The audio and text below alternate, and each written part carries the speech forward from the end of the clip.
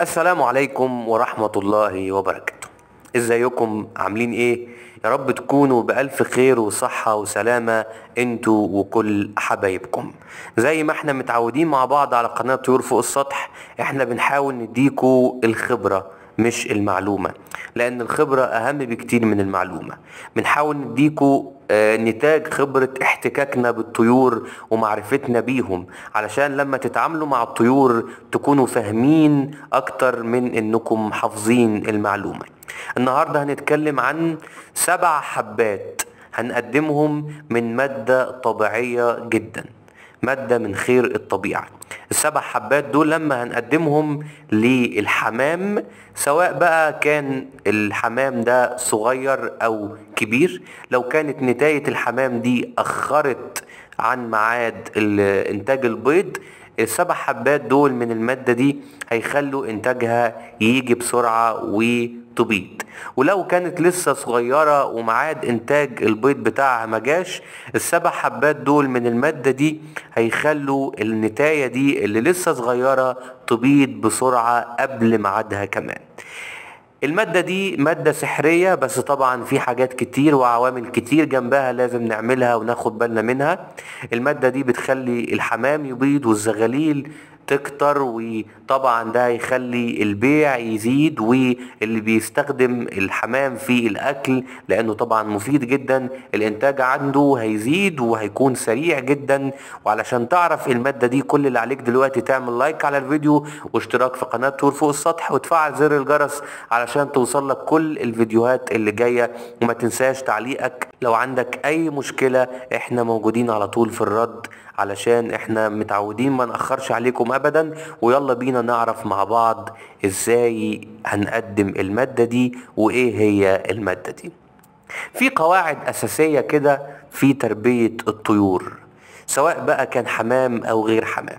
القواعد دي بتضمن لينا إنتاج وفير وسريع وبتضمن لينا إن صحة الطيور تفضل كويسة علشان مناعتها تفضل كويسة علشان نموها يفضل كويس ومادام النمو كويس يبقى الطائر بيكبر وإنتاجه هيجي. ولو كان أصلا بينتج النمو ده والصحة دي هتساعدنا إن إحنا نحافظ على الإنتاج ده إنه ما ينقطعش أو يقل. طبعا في عوامل عند الحمام لازم نحافظ عليها. هي هي نفس العوامل طبعا بس بتفاصيل مختلفة. الصحة لازم نحافظ عليها. مناعة الطيور لازم نحافظ عليها. الغذاء المتنوع لازم نحافظ عليه. وكل ده ممكن نعمله بحاجة واحدة بس هي الاعتناء والمراقبة الدائمة. دي اللي دايما بنتكلم عليها وهي دي الخبرة اللي إحنا محتاجين ننقلها لكم إزاي نعتني بالطيور ونراقبهم دايما؟ أجدادنا الله يرحمهم وي ويكرمهم بكل خير. كانوا دايما بيعالجوا مشاكل الحمام وأمراض الحمام ومشاكل إنتاج البيض وقلة إنتاج البيض أو تأخر إنتاج البيض بالمادة اللي إحنا هنقولها النهاردة دي. المادة دي بتقي الحمام من الأمراض التنفسية اللي بتيجي في فصل الشتاء. وهي كمان مضاد سموم طبيعي جدا وملوش أي اضرار أو آثار جانبية زي الأدوية الكيميائية. بيمنع انتفاخ الحوصلة وده طبعا بيقي الحمام من أمراض كتيرة جدا وبيسهل الهضم وبيزود الإنتاج. كمان المادة اللي هنقولها النهاردة دي بتحمي الحمام من البكتيريا اللي بتصيب الجهاز التناسلي اللي عند الأنثى اللي عند النتاية الحمامة. بيحمي الجهاز التناسلي بتاعها من البكتيريا اللي ممكن تصيبها. وكمان بينشط المبايض وده بيخلي الحمامة تبيض بدري والنتاية تبيض على سن صغير. واللي قطع بيض أو متأخرة من فترة ترجع تبيض تاني. وكمان المادة دي بتقوي المناعة علشان تزود صحة الحمام.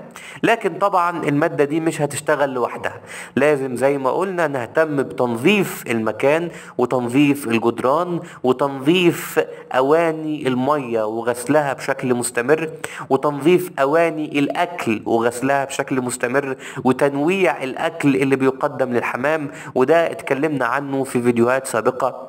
هتلاقوها على قناة طيور فوق السطح لو دورتوا وهتلاقوا فيديوهات كتيرة تانية تهمكم وتهم كل مربي الطيور. المادة دي هي اسمها لبان الذكر لبان الذكر ده ممكن تجيبه من عند العطار موجود ومشهور ومتوفر جدا في كل الأماكن وفي كل البلدان العربية أو غير العربية.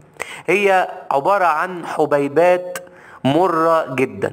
مرة يعني هي مفيدة للإنسان وللطيور على حد سواء. الإنسان بيستخدم لبان الذكر من زمان جدا لعلاج الكحة وعلاج الإنفلونزا والأمراض التنفسية وعلاج الزور والحكة اللي بتبقى في ال- الزور والأمراض التنفسية المعروفة دي. وبيستخدمه الإنسان عن طريق المضغ لأنه البان بيتمضغ وبيترمي. إنما الطيور بتستخدم لبان الذكر بشكل مختلف شوية. إحنا هنجيب سبع حبات متوسطي الحجم من لبان الذكر ودي طريقة الاستعمال وركزوا معانا فيها كويس علشان تستعملوا لبان الذكر بالشكل الأسلم والأفضل واللي هيقدم لكم فايدة كبيرة جدا من غير ما يكون في ضرر على الحمام بتاعكم. هنجيب سبع حبات متوسطي الحجم وهنجيب لتر مية. هنحط السبع حبات في لتر الميه وهنغلي المية بشكل قوي يعني هنغليهم كويس. وهنكون وإحنا بنغلي قافلين ال ال ال ال الوعاء اللي بنغلي فيه عشان الزيوت اللي في لبان الذكر ما تطرش من ال ال الوعاء ونستفيد بيها كلها. هنغلي زي ما قلنا لبان الذكر كويس وهنسيبه بعد كده بعد ما نغليه منقوع في المية دي حوالي 12 ساعة.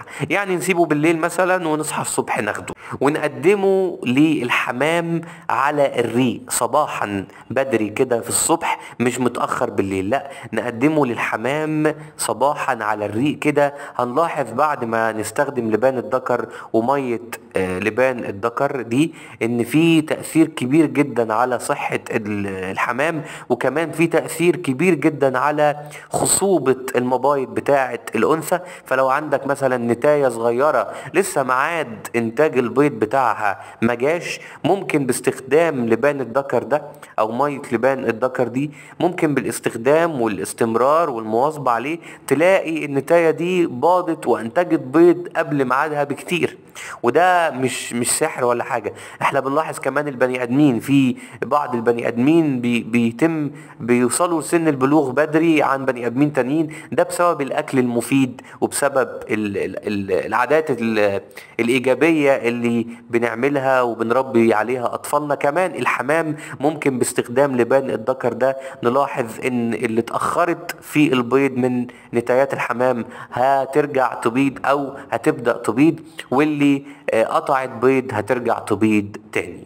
ده كان فيديو النهارده. ما تنساش تعمل لايك على الفيديو واشتراك في القناة وتفعل زر الجرس وتاخد لك لفه في القناة علشان هتلاقي فيديوهات كتيرة تخصك وتخص كل مربي الطيور. ونشوفكم على ألف خير. والسلام عليكم ورحمة الله وبركاته.